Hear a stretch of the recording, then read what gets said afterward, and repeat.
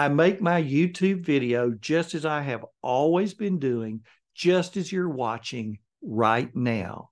I post it to YouTube just as I've always done.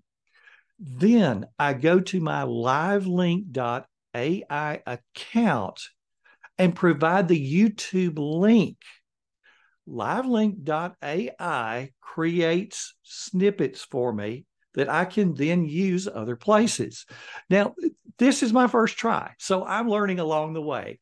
Using AI, LiveLink is going to extract the best parts of the video. It will recognize where my face is so that I'm always in focus and it's never chopped off. And it will compose those snippets in the correct orientation for social media platforms.